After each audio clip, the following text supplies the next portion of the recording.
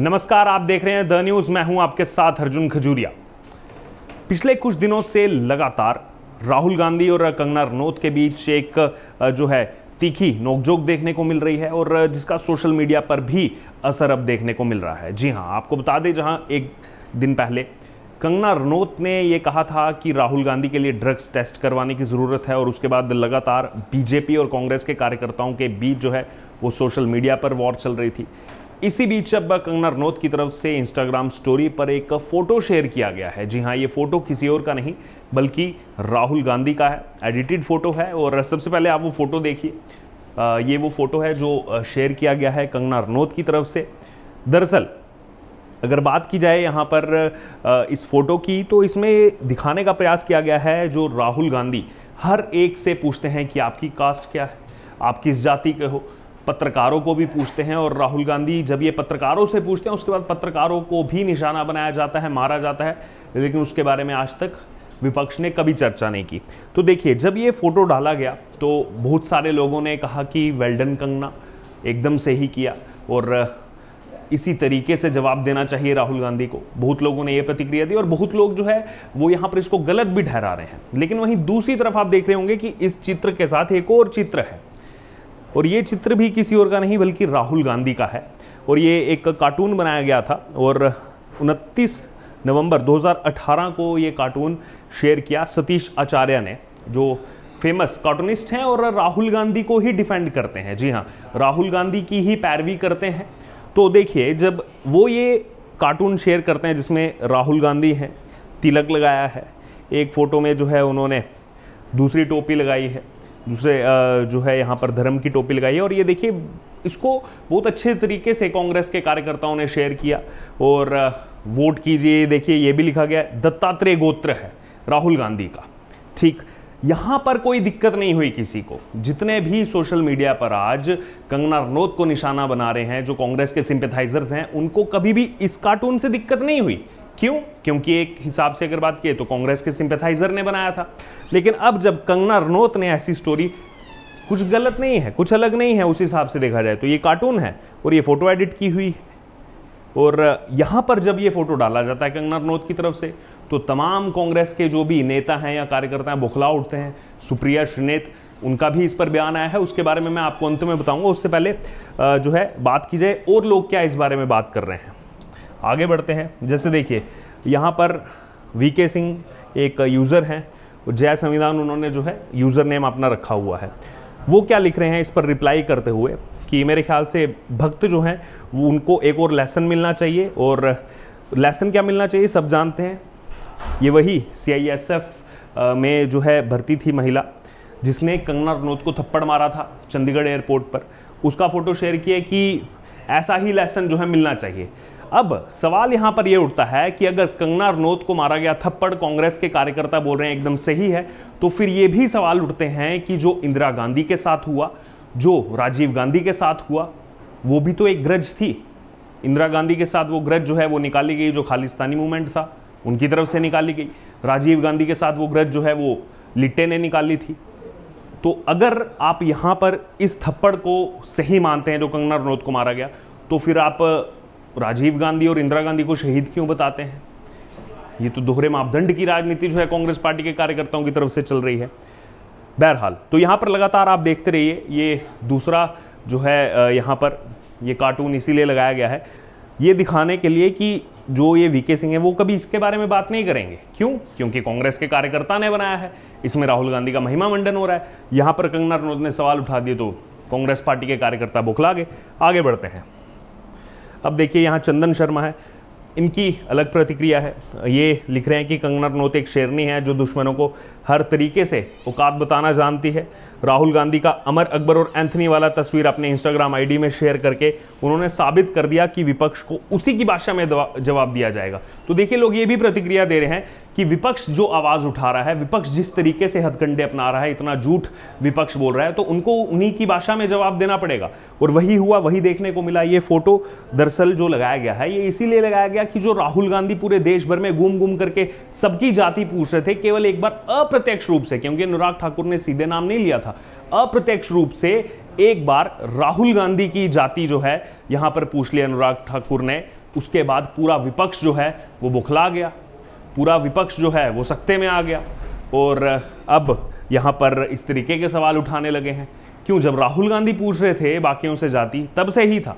अब राहुल गांधी से पूछ ली तो उसको उन्होंने गाली से भी जो है डिनोट कर दिया कि गाली दी जा रही है, यहाँ पर जो है अपमान किया जा रहा है। तो क्या बाकी लोगों का अपमान नहीं था जब राहुल गांधी पूछ रहे थे और जब पत्रकारों को पूछ रहे थे उस समय तो उनको पीटा भी जा रहा था, कांग्रेस कार्यकर्ताओं की तरफ़ से। लेकिन राहुल गांधी ने आज तक कभी उसके बारे में निंदा नहीं की है उस बारे में। बहरहाल आगे यहाँ से बढ़ते हैं। अब देखिए यहाँ पर रितेश मिश्रा हैं, उन्होंने डाला। तीन अगस्त को जो है यहाँ पर ये ट्वीट किया कंगना रनौत का फ़ोटो। मुझे लगता है राहुल से निपटने के लिए कंगना रनौत काफ़ी है। अब उसके बाद ये जो महेंद्र ठाकुर हैं, कांग्रेस की तरफ़ से बैटिंग करते हैं, ये लिख रहे हैं, मुझे लगता है कंगना से निपटने के लिए राहुल गांधी की आवश्यकता ही नहीं है, उसके लिए तो कुलविंदर कौर ही काफ़ी है। वही कुलविंदर कौर सीआईएसएफ में जो महिला सिपाही भर्ती थी, जिसने कंगना रनौत को थप्पड़ मारा था। बार बार सवाल यही है, अगर कांग्रेस पार्टी के कार्यकर्ता उस थप्पड़ से, जो कंगना रनौत को मारा गया, अगर उससे इतने खुश हैं तो फिर ये इंदिरा गांधी, राजीव गांधी, उनकी हुई हत्या को शहीद करार दे देते हैं। तो एक ही चरित्र के दोहरे मापदंड जो है, वो यहाँ पर देखने को मिल रहे हैं। अब इससे आगे बढ़ते हैं। अलग अलग जैसे मैं आपको बता रहा हूँ, प्रतिक्रिया। अब ये देखिए, नाभिया जो है, ये एक यूज़र है। ये लिख रही हैं कंगना रनौत ने बेशर्मी की सारी हदें पार कर दी हैं। कंगना रनौत ने आज अपनी इंस्टाग्राम स्टोरी पर राहुल गांधी ये तस्वीर लिखाई है जिसमें लिखा हुआ है जाति जीवी आ, कैसे आ, बिना जो है जाति पूछे जाति जनगणना करानी है। राहुल गांधी इस तरह की एडिटेड फ़ोटो अपनी स्टोरी पर लगाई है। अब देखिए अब दर्द होने लगा है इनको। अब जो ये सवाल पूछे जा रहे हैं राहुल गांधी से जो सवाल खड़े किए जा रहे हैं अब इनका दर्द निकल करके बाहर आ रहा है। सोचिए जब पिछले छह से आठ महीने से लगातार राहुल गांधी देश भर में घूम घूम कर सबकी जाति पूछ रहे थे, पत्रकारों की जाति पूछ रहे थे, इनको पिटवाने का काम कर रहे थे, तब तब तो इनको मज़े आ रहे थे, लेकिन अब इनसे एक बार किसी ने वो हल्का सा ट्रिगर कर दिया, हल्का सा पूछ लिया तो उसके बाद देखिए किस तरीके से जो है यहाँ पर सोशल मीडिया पर माहौल बनाया जा रहा है। अब ये चीज़ें इनको गलत लग रही हैं। अगर आप कांग्रेस के अकाउंट पर जाएँगे सोशल मीडिया प्लेटफॉर्म्स पर, आप देखिए पीएम नरेंद्र मोदी के लिए क्या क्या कहा गया ये तो केवल एक एडिटेड फ़ोटो है, इस पर यहाँ पर इतनी दिक्कत होने लगी है कांग्रेस पार्टी को। सोचिए, वो समय जब नरेंद्र मोदी को क्या क्या कहा गया था? मौत का सौदागर कहा गया था, जब एक राज्य के वो मुख्यमंत्री थे। लेकिन उस समय ये कांग्रेस पार्टी के तमाम कार्यकर्ता, वो तो खुशी मना रहे थे, देखिए, सोनिया गांधी ने कह दिया, मौत का सौदागर कह दिया। उसके बाद जो है, किस तरीके से मल्लिकार्जुन खड़गे ने इतनी बार जो है गलत कहा पीएम मोदी के लिए। पवन खेड़ा ने गलत कहा, मणिशंकर अय्यर ने जो है, नीच तक कह दिया था।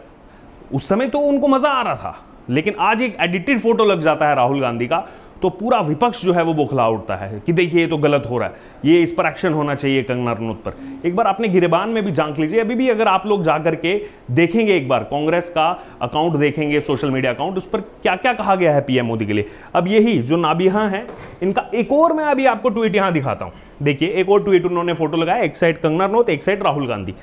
अब देखिए, लिख क्या रहे हैं? मज़ेदार बात यह है, लिख रहे हैं कि कंगना रनौत ने जो है राहुल गांधी को मॉक किया। कास्ट सेंसिस पर। लेकिन इसने कई सारी फ्लॉप फ़िल्में दी हैं, तेजस, धाकड़, थलाईवी और कई सारी जो है फ्लॉप फ़िल्में दी हैं कंगना रनौत ने। अपना उनका जो है फेलियर रहा है, इसलिए वो बाकियों को ट्रोल नहीं कर सकती। राहुल गांधी जो है वो एक पॉपुलर लीडर हैं, उनको कोई डिफेंड करने की ज़रूरत नहीं है। अब ये जो नाबिया हैं, अब मुझे इस बात का जवाब दीजिए कि राहुल गांधी के नेतृत्व में इतने चुनाव लड़े कांग्रेस पार्टी ने। राज्यों के चुनाव लड़े, लोकसभा का चुनाव लड़ा क्या रिज़ल्ट रहा? कितने चुनाव जीती कांग्रेस पार्टी? अगर आप रेशो निकालेंगे तो सबसे वर्स्ट परफॉर्मेंस कांग्रेस पार्टी का पिछले अठारह सौ पचासी से लेकर के अगर हम अभी तक आएँगे, या फिर कहा जाए 1950 के बाद से जो चुनाव हुए हैं, अभी तक अगर देखा जाए, सबसे वर्स्ट परफॉर्मेंस राहुल गांधी का रहा है। सबसे खराब। लेकिन इनको क्या नज़र आ रहा है? इनको राहुल गांधी में पॉपुलर लीडर नज़र आ रहा है। डिफेंड करने की ज़रूरत नहीं और ये तीन फ़िल्में उठा दी कंगना रनौत की, वो फ्लॉप हो गई। बाकी फ़िल्मों के बारे में बात नहीं की इन्होंने। जो हिट हुई हैं, लेकिन राहुल गांधी इनके हिसाब से पॉपुलर लीडर हैं। तो इसी से पता लगता है कि आखिरकार इनकी सोच और इनकी समझ जो है, वो कहाँ तक जा सकती है? राहुल गांधी पॉपुलर लीडर किस हिसाब से आप उनको पॉपुलर लीडर मान रहे हैं? अभी तो लीडर ऑफ़ अपोजिशन है, लेकिन इससे पहले कांग्रेस पार्टी के राष्ट्रीय अध्यक्ष भी रहे। सब जगह उनके नेतृत्व में चुनाव हुआ। क्या हुआ?